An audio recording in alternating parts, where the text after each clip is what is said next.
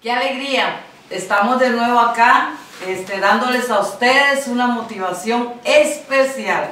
¿Por qué? Porque Dios siempre tiene algo nuevo para nosotros.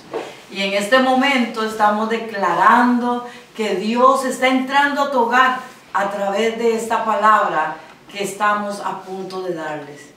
Este ministerio al cual Dios nos ha enviado a fortalecer, a restaurar, a liberar al pueblo del Señor, es un ministerio donde todos aquellos que quieran pueden recibir de las aguas refrescantes de la palabra de Dios. Influenciados por amor, es un ministerio al cual Dios ha levantado en estos tiempos, como dice la palabra del Señor, como un David que estaba escondido para declarar cosas que antes no se habían visto. ¿Qué le parece? Mire, hoy vamos a hablar acerca del poder de la palabra, del poder de la palabra que hay en usted, que hay en mí, que hay en aquellos que fueron creados para la gloria de Dios. Estaremos hablando en, en el capítulo de, vamos a ver acá, de Segunda de Corintios 4:13. Si usted tiene ahí su Biblia, no este, se acoja a lo que solamente le digo yo. Tome la palabra, busque su palabra, tome tiempo para, para leer la palabra. Dice que en ella encontraremos vida eterna. Es la palabra la que nos hace crecer, es la palabra que nos hace caminar, es la palabra que nos hace vivir. Si tú no tienes la palabra, no puedes tener algo hermoso en Dios. ¿Qué le parece? Segunda de Corintios 4:13 dice así, pero teniendo el mismo espíritu de fe, conforme lo que está escrito, escuche bien, creí, por lo tanto hablé. Nosotros también creímos, por lo tanto hablamos. Alguien aquí te está hablando de lo que ya ha vivido, de lo que está experimentando, de lo que está por ver, pero siempre creyendo que la palabra nos lleva de gloria en gloria y de victoria en victoria. Dios le está hablando a alguien allí, a ti, sí, a ti te está hablando el Señor para decirte que su palabra no cambia, que su palabra es fiel. Algo debemos hacer, sí, algo debemos hacer, porque no hay nada que no proceda sin una acción. Tú tienes que accionar, accionar la palabra, hablar la palabra, creer la palabra para que ésta se haga vida. Entonces aquí dice que creí, por tanto hablé. ¿Tú estás creyendo la vida que llevas en Cristo? ¿O tú que estás allí sin Cristo, si todavía crees que no existe el Dios de gloria, yo quiero retarte a leer la palabra, a creer en la palabra, a confiar en la palabra.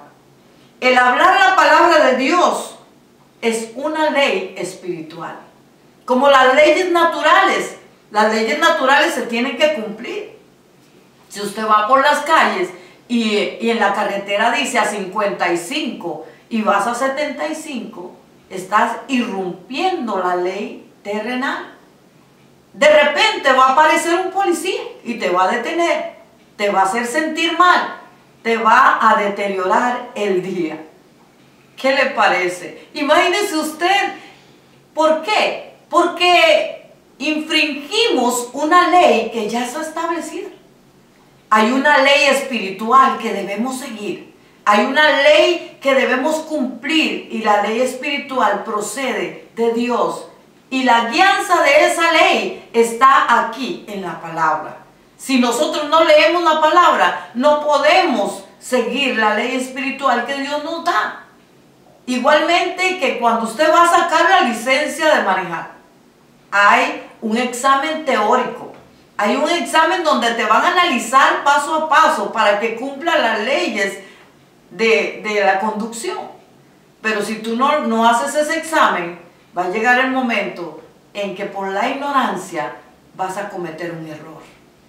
Igualmente, la ley de Dios, la ley espiritual, en donde te necesitamos de la palabra para poder entrar en ese mundo tan hermoso donde la paz, la felicidad no la conformidad, sino como una paz sobrenatural que entra en nuestro corazón, que vemos que las cosas no funcionan, no están pasando como yo quiero, pero hay algo en mí que me dice, ten esperanza, ten esperanza, Dios viene en camino. Gloria al Señor. Mire, Dios dijo y fue hecho.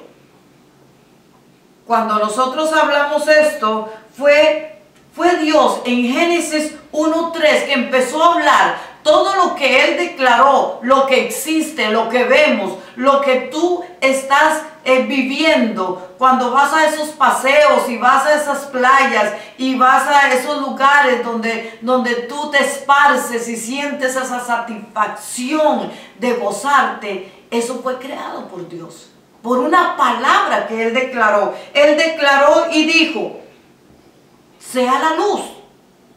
Y la luz fue. Así es que Dios tiene en su boca una deidad de declarar con su boca y todo se cumple. Luego dijo Dios, produzca la tierra y fue así, Génesis 1.11. Dijo luego Dios, haya lumbreras y así fue. Por la fe entendemos haber sido constituido, dice la palabra del Señor, el universo por la palabra de Dios. ¿Qué poder tienen las palabras? Y es como al principio les decía, creí, por tanto hablé. ¿A quién estás creyendo? ¿A lo que está sucediendo a tu lado? ¿A la enfermedad? ¿A la situación económica? ¿A quién le estás creyendo? Creí, por tanto hablé. Escúchate cuando hablas, porque cuando tú hablas te das cuenta lo que hay en ti. ¿En quién estás creyendo? Cuando tú hablas de que no voy a poder hacer esto o aquello, estás confiando en ti mismo, no en Dios. Y Dios dice que en Él todo lo puedes porque Él te fortalece. Es Dios quien te fortalece, ¿me escuchas? Quien te levanta, es Dios quien te provee, es Dios quien hace de tu vida algo diferente. No eres tú. Nosotros debemos de soltar el control de nuestra vida en las manos de Dios. Es tiempo de que el pueblo de Dios, las personas que creen en un Dios todopoderoso, empiecen a ejecutar por su palabra lo que Él tiene para ti. Gloria al Señor. Hay que hablar la palabra de Dios. La Biblia dice, diga el débil, fuerte soy. Cuando el Señor en el Génesis, el Dios Todopoderoso en Génesis, estaba creando el cielo y la tierra, ¿ustedes creen que Él en su grandeza y poderoso eh, poder que tiene, no pudo haber creado en un tristar de sus dedos toda la tierra? Claro que lo pudo hacer. Él con sus dedos tristados lo hubiera hecho inmediatamente toda la creación. Pero Él quería mostrarnos algo a través de su palabra. Mostrarnos que por medio de la palabra hay poder. Hay poder en tu palabra para crear cosas. Hay poder en tu palabra para levantar el espíritu de cualquiera que esté a tu lado. Pero también hay poder en tu voz, en tu palabra, para destruir el corazón de muchos. Para destruir tus mismos sueños. Y cuando tú decides actuar conforme a ti mismo, eso es lo que haces. Destruir los sueños que hay en tu corazón. Sueños que Dios ha puesto allí para que se cumplan uno a uno. ¿Me escuchas? Uno a uno. Sueños que tú nunca te imaginabas. Dios quiere hacer realidad, pero Dios necesita que tú hables la palabra. Al igual que Él, Él nos estaba dando como un croquis nos estaba dando como una especie de enseñanza de cómo nosotros debemos actuar en diferentes maneras y declarar que donde no hay luz, yo puedo producir luz. Que donde hay desorden, yo puedo declarar orden. Que donde hay tristeza, puedo declarar alegría. Que donde hay pobreza, puedo declarar riqueza Porque Él dice en su palabra que Él nos da a nosotros el poder para hacer las riquezas. El hecho de que tú tengas dinero no significa que tú estés pecando. El hecho de que tengas dinero es porque tú estás escogiendo el poder para hacer esas riquezas que no añaden tristeza con ella. Porque actualmente hay gente que tiene mucho dinero, pero vive triste, amargado, abandonado. De hecho, llegan al punto de suicidarse porque no, no es el dinero el que te hace feliz. No es el dinero, sino el poder de Dios en ti para ser bendecido a través de él. Tú dominas el dinero, no el dinero a ti. Y Dios quiere grandes cosas para ti, pero necesitamos ejecutar el poder de la palabra de Dios en nuestra vida. Así es que podemos revestirnos de esta palabra en este día. ¿Qué le parece? Todos aquellos que escuchen este video, recuerden, empiecen a ejercitar el poder de las palabras de Dios en su boca. Si en tu casa hay alguien que aparentemente no tiene esperanza en la enfermedad, declara el poder de las llagas de Cristo en sanidad. La palabra de Dios dice que diga el débil, fuerte soy. ¿Te sientes débil? Hoy te sientes débil. El Señor te dice, di, fuerte soy. No porque las circunstancias te estén mostrando algo que diga que eres fuerte. No por eso, sino porque la palabra de Dios lo dice. Es la palabra de Dios que te dice, diga el débil fuerte soy, diga el débil fuerte soy. A alguien Dios le está hablando hoy que te sientes débil. Y Dios te dice, vamos, di fuerte soy. Gloria al Señor. Porque Dios necesita que nosotros lo creamos. Y esto lo dice Joel. Joel 3.10 dice que el débil tiene que decir que es fuerte. Qué extraña la palabra, pero es una palabra confrontativa. La palabra nos mete en un mundo, en la ley espiritual. La ley significa cumplir, cumplir algo que ya está establecido. Dios estableció en Génesis cómo debíamos de hacer las cosas y entonces por esa ley caminamos. Necesitamos caminar en la ley espiritual la ley espiritual solamente se camina en fe y en la fe la certeza de lo que se espera y la convicción de lo que no se ve. Gloria al Señor. Si tú no estás viendo algo, es necesario que empieces a verlo en el mundo espiritual, no en lo natural. En lo natural solo se ven cosas desastrosas, cosas negativas, en lo natural no puedes lograr nada, pero en el mundo espiritual todo está hecho. Solo necesitas confesarlo y atraer las cosas de donde no están hacia donde están. ¿Qué le parece? Mire, aquí tenemos otra palabra. Podemos confiar en el poder de la palabra de Dios. Así también la palabra que sale de mis labios dice, no vuelve a mi vacía, sino que cumple el propósito por el cual es enviada. Isaías 55, 11, 10 y 11 lo dice. Es igual como nosotros ahora, acá donde estamos. Cayó la nieve. Y ahí usted la verá estática. La nieve se ve en montañas, por todos lados, en todo lugar aquí. ¿Y es por qué? Porque la nieve está cumpliendo un propósito allí. Empieza a deshacerse y deshacerse y deshacerse y se convierte en agua que penetra en la tierra y entonces todo empieza a crecer y luego viene la primavera y se nota lo que la nieve hizo. Y dice la palabra de Dios en Isaías 55, que así como la nieve viene y no vuelve atrás, sino que cumple el propósito por el cual es enviada. Así es toda palabra que sale de la boca de Dios. No vuelve atrás, sino que cumple el propósito por el cual es enviada. Así es que tú tienes propósito en lo que vas a enviar con tu palabra. ¿Qué tienes en tu boca para hablar? ¿Negatividad?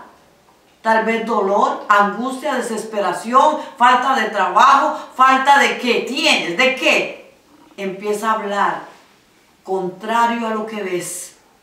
Si tú estás viendo que las cosas no marchan bien en tu casa, declara, mi casa va a estar bien porque está fundada en la roca.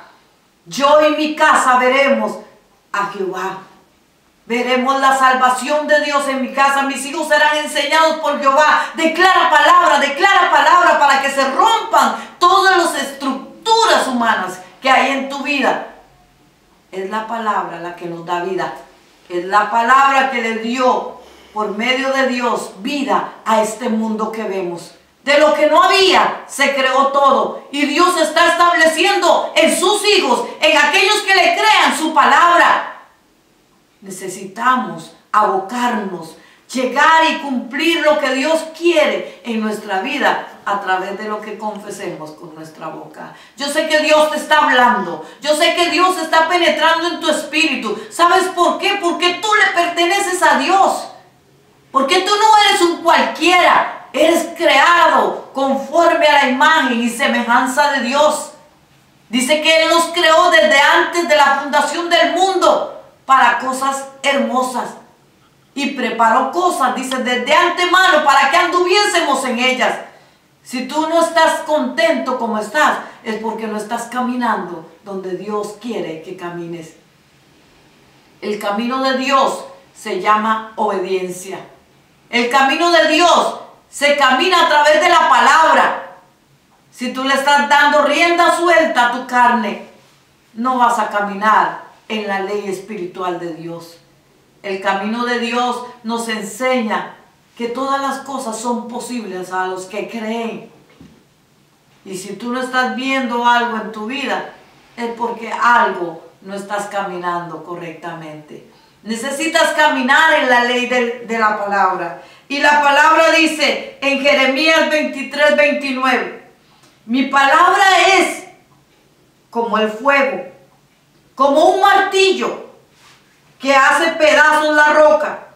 Yo el Señor la afirmo. Qué tremendo.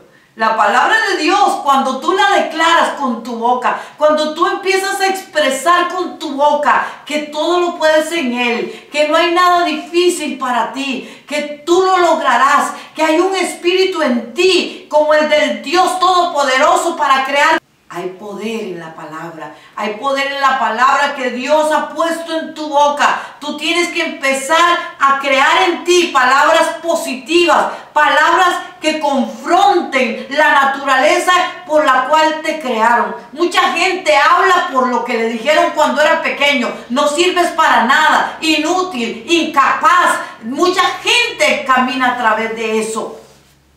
Pero Dios hoy quiere que camines a través de la palabra. La, palabra te dice que todo lo puedes en Él. La palabra de Dios te dice que sueñes. Que cuando Él nos libera, seremos como los que sueñan. Hoy Dios quiere liberarte. Recibe la liberación. Recibe la liberación en tu espíritu y empieza a crear cosas hermosas en tu vida. El Señor quiere con tu boca mostrarle al mundo que Él es digno de seguir. Dice Pablo en, su, en la palabra que Cristo en vosotros es la esperanza de gloria. El Señor necesita que brillemos como Él. El Señor necesita que brillemos como Él para que podamos mostrarle al mundo que hay vida y vida en abundancia. Pero cuando tú te levantas como el Hijo de Dios, dices, Señor, aquí estoy. ¿Qué le parece si oramos y le decimos a Dios, cambia mi lenguaje?